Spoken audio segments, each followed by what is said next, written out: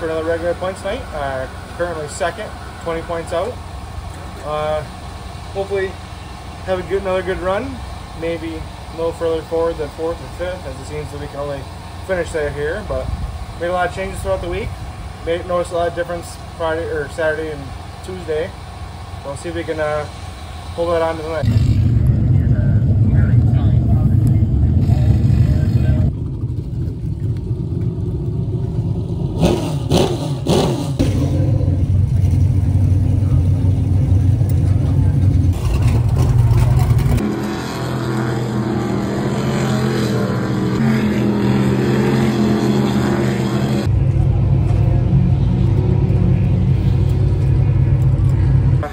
High laps over, we went overall.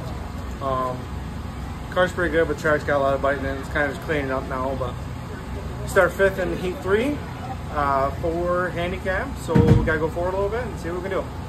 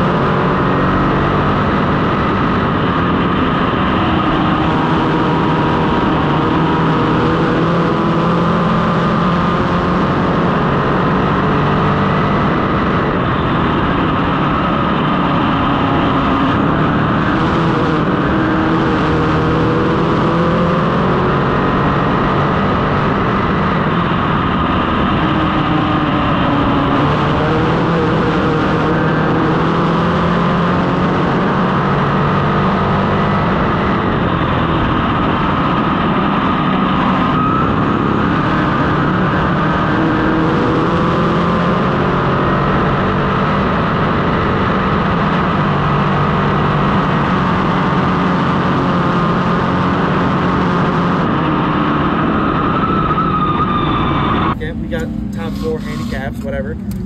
It was good going in, then all of a sudden it starts getting really dirty. I'm like, uh-oh, uh-oh. Alright, let's close. Close? Get it on the video.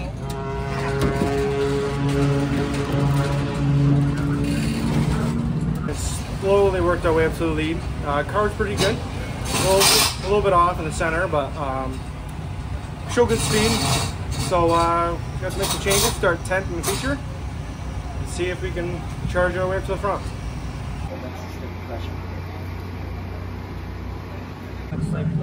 Uh, that's good. You want me to keep going or no? No, you're good. You got it all. It does. very fine line. Right. That's the problem in legislation. That as you're training, Oh, I see it right there. I saw it. I saw it. See it? I'm happy with where the right front is. Oh, this this is not tight. You know that, right? I, Yeah, I just put it on listening.